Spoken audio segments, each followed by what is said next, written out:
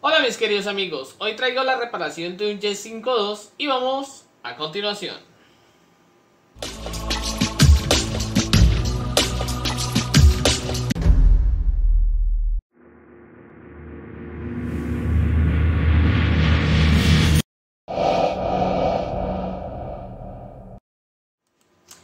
Bueno muchachos, esta vez traigo la reparación de este Y52, el que tengo aquí ya previamente desarmado. Presenta una falla muy particular, eh, que la verdad, eh, la veces lo pone a uno dudar mucho porque hay ratos él da imagen, en este caso ahí está encendido pero no da imagen, no hace nada, absolutamente nada, vemos que no hace nada, no vemos nada en la imagen.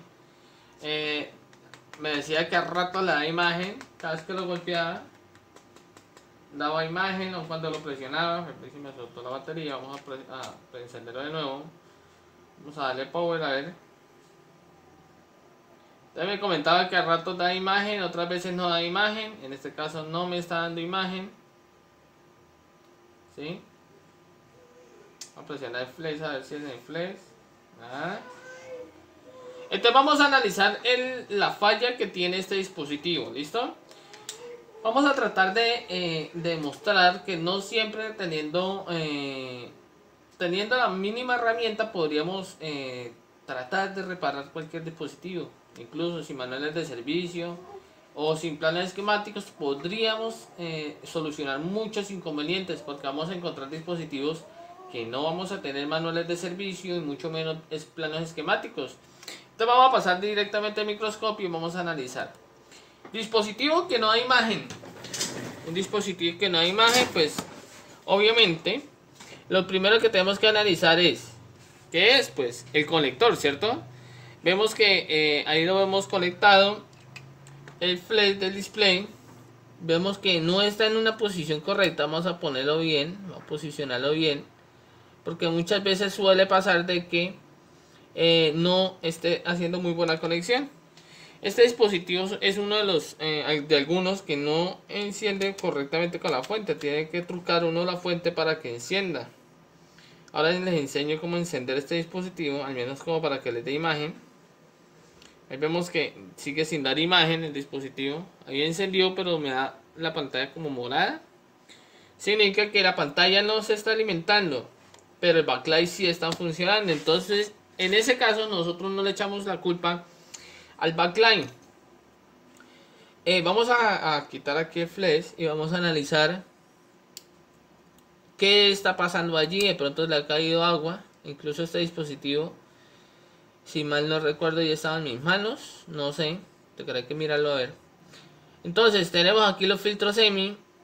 Tenemos aquí el conector. Acá irían algunos circuitos, algunos eh, sectores que podrían manejar voltajes hacia la, hacia la hacia la pantalla.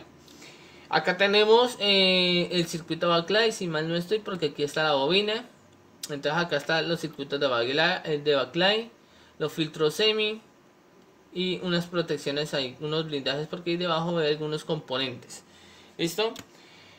¿Qué hacemos para solucionar un dispositivo que no tengamos un plano esquemático? ¿Cómo hacemos para darle solución? ¿Cómo hacemos para saber dónde está la falla? Pues simplemente vamos a analizar. Nosotros necesitamos pensar, utilizar la cabeza. En este caso vamos a medir en escala de, de diodos. Lo primero que nosotros tenemos que medir, ¿qué es? Pues los filtros semi. A ver qué pasa.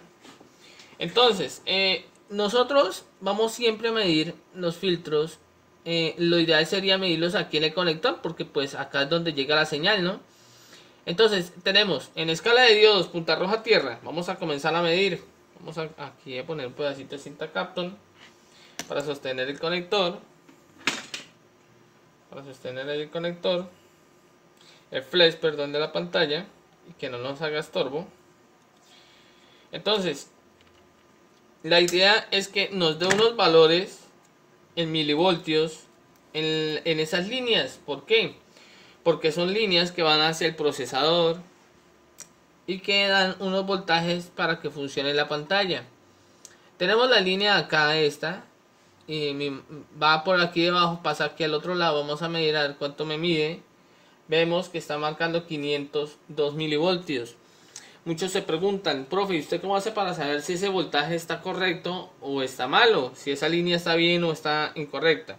Ya en este caso, eh, la mayoría uno vamos a, ir tomando experiencia, midiendo otros dispositivos, sabiendo más o menos qué valores aproximados pueden tener. En este caso, eh, normalmente tienden esas líneas a tener unos 400, unos 350, 400 hasta unos 600 milivoltios. Incluso algunos marcan hasta alrededor de 700. Listo. Entonces medimos aquí, esta. Me mide 503, esta. 501, correcto. La siguiente línea debe ser tierra. Ahí vemos, tierra. Esta línea, vamos a ver cuánto nos mide. 501, la siguiente línea nos daría 501. Bien, tierra, porque siempre van dos líneas de datos, una tierra intermedia. Eh, esta es tierra. Ahora, línea de datos. Correcto, vemos 484 línea de datos 484, una tierra, deberíamos encontrar acá correcto. Aquí una línea de datos 482 y acá 481. Está bien. Aquí 0L, correcto. Entonces son 1, 2, 3, 4, 5. 5 pares. Hay 5 pares. Aquí hay algo algo fuera de lo común. Vamos a ver. Tenemos aquí, está bien. Bien, datos, bien. Tierra, datos, datos, tierra, correcto. Datos, datos, tierra, correcto. Datos, datos, tierra, correcto. Y aquí debería ser datos, porque aquí veo las lineecitas que van conectando. Entonces aquí va datos, no hay nada. Y aquí datos. Está marcando, ahora sí. Entonces tenemos un problema en estas líneas que están acá. Entonces están en este filtro. Aquí a este lado del filtro vamos a medir que, a ver si me mide. Vamos a ver. 0L, medimos al otro lado. 480. Vamos a medir este lado. Entonces puede estar quemado el filtro. Ah, vea. Nosotros, por eso, eh, en este caso, solo requerimos un buen microscopio o una buena lupa y tener un multímetro buen cerebro para poder pensar y analizar qué es lo que está sucediendo. Este teléfono lo veo y ya ha sido destapado, ha sido humedecido, vemos acá. Entonces, muchas veces hay técnicos o personas que tienden a destapar estos dispositivos palanqueando la, el backcover. Entonces, lo que veo aquí, les voy a explicar qué es lo que pasa. Eh, por eso es que hay que tener cuidado a la hora de destapar estos dispositivos. Voy a sacarlo lo más posible acá. Se ve bien, ¿cierto? Se ve perfecto allí, no se ve nada fuera de lo común. No sé si alcancen a notar acá, en este sector, que hay como algo raro ahí, ¿cierto? Lo que sucede es lo siguiente, muchachos, vean. Muy sencilla esta reparación. Si vamos, voy a, voy a ladear un poquito el dispositivo para que se den cuenta de cómo está ese filtro. Vamos a verlo. A ver cómo está.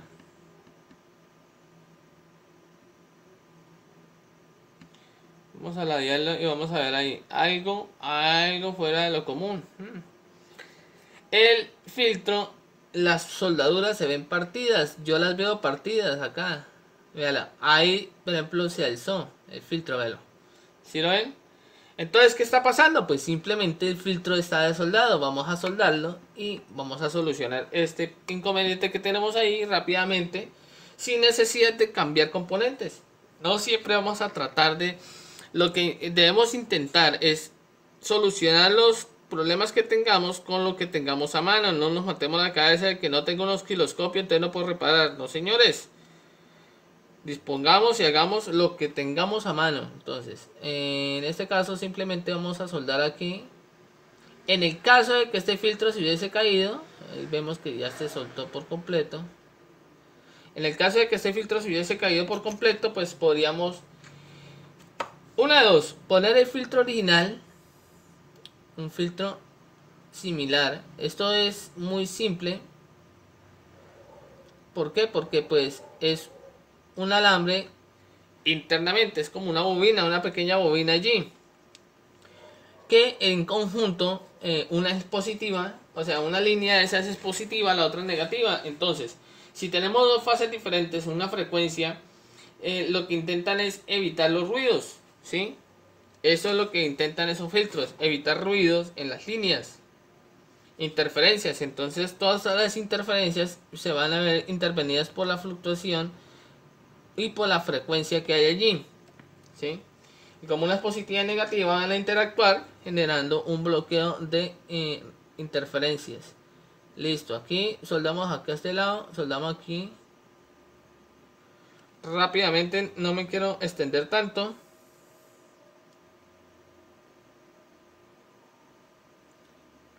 A limpiar el cautín. Aplicamos un poquito de soldadura.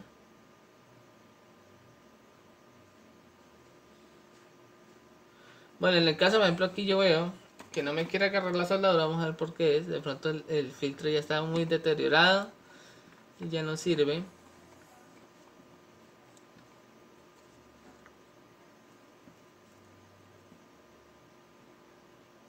Si no quiere, ya está dañado el filtro. Entonces, en ese caso, ¿yo qué haría?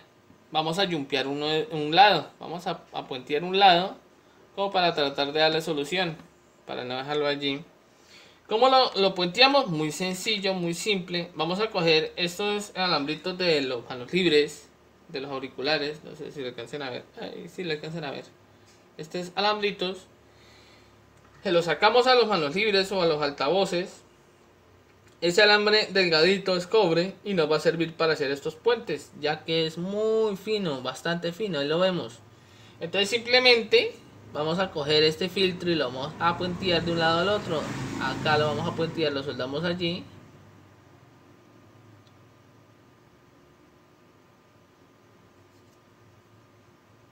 Vamos a, aquí a, tratar de soldar este cablecito lo que estoy intentando hacer allí no estaban viendo pero lo que estoy intentando es pelar un poquito la punta para eh, soldarlo. Vamos a soldarlo allí. Y listo. Vamos a aplicar un poquito de soldadura.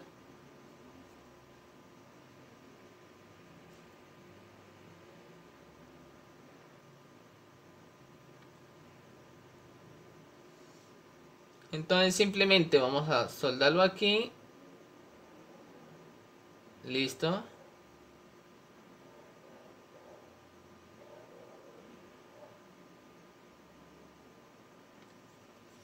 aplicar otro poquito, un poquito de flux. Vamos a aplicar un poquito de flux como para mejorar la transferencia térmica.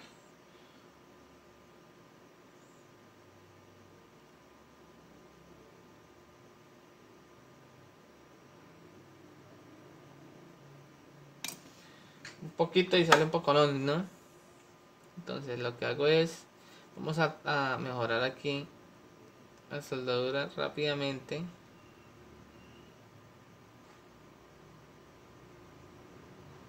Entonces lo que estoy haciendo es tomar un poquito de soldadura de allí. Lo agarramos aquí y vamos a darle la vuelta al otro lado y ya lo solucionamos ahí. ¿Listo?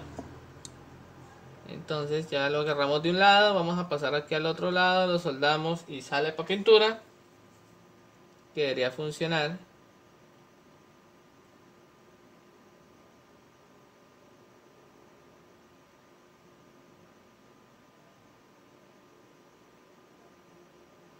Listo, ahí lo soldé rápidamente. Ahorita vamos a comprobar si realmente quedó funcionando y que no quede haciendo corto una línea con la otra. ¿Listo? Eh, ya por último, nosotros tendremos que limpiar allí. Vamos a limpiar aquí rápidamente. Quitar ese exceso de flux.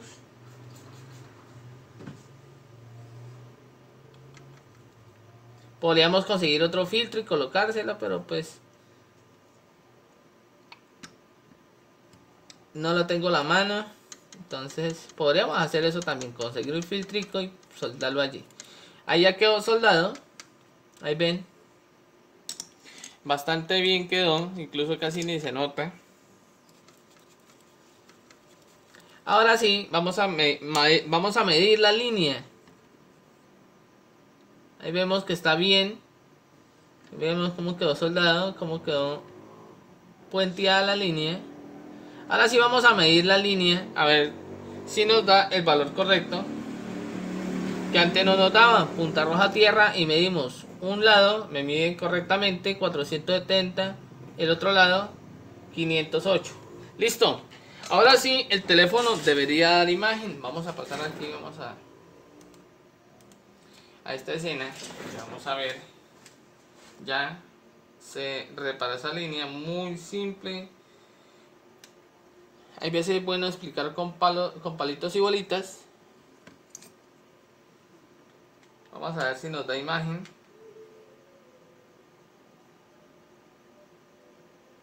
Vamos power.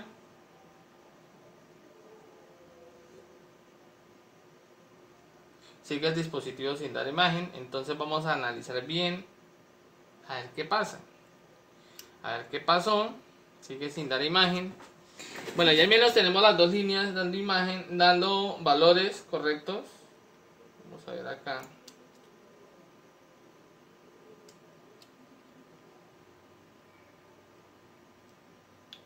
Vamos a, no, las líneas no están haciendo corto porque si estuvieran corto es, darían el mismo, el mismo valor, ¿no? Eso para que lo tengan en cuenta como para que no maten cabeza allí. Vamos a ver de nuevo, conectó allí mido de power a ver. Sigue sin dar imagen. Entonces vamos a cambiar ese filtro de allí. A ver, vamos a cambiar el filtro, quitemos ese filtro y vamos a soldarle un filtro original.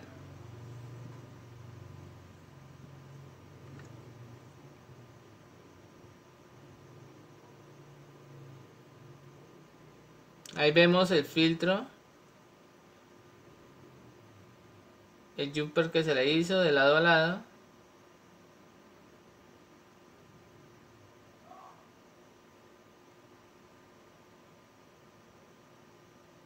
Está desafectada una línea todavía. Vamos a cambiar ese filtro allí. Vamos a conseguirle otro teléfono. A ver si por aquí tengo un teléfono que tenga filtros. Una plaquita por aquí con filtros, a ver.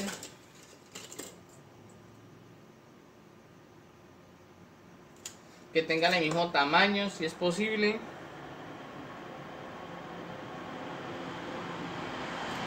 En último caso podríamos jumpear las dos líneas. Vamos a ver. Vamos a quitar ese filtro allí y vamos a jumpear las dos líneas. Vamos a hacer eso. Como para hacer el video más rápido. Ya detrás de cámaras, entonces lo que voy a hacer es proceder a conseguir el filtro correcto. Y lo sueldo allí. Listo, entonces ese era el filtro allí que me estaba haciendo como mal contacto. Y ya. Entonces aquí ya queda solamente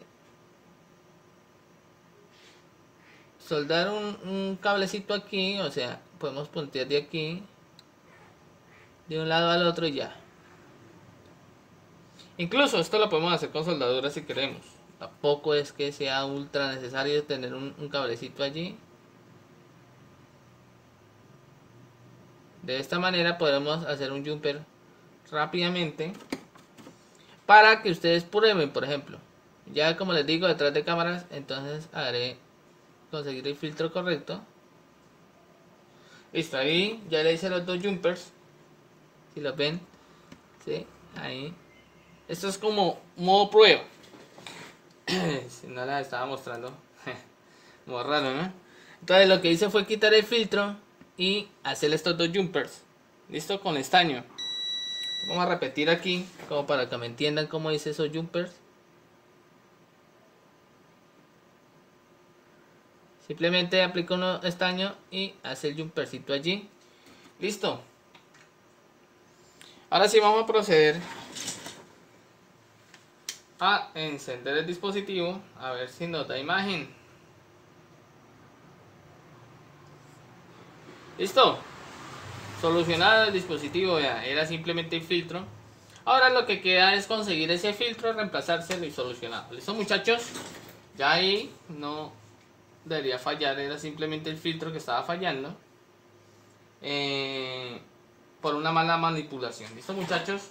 Entonces, espero que este video les haya gustado y les haya servido. Si les gustó, regáleme un pulgar arriba, comparta mis videos y sigue disfrutando con Electrónica Santi. Electrónica Santi, técnico profesional.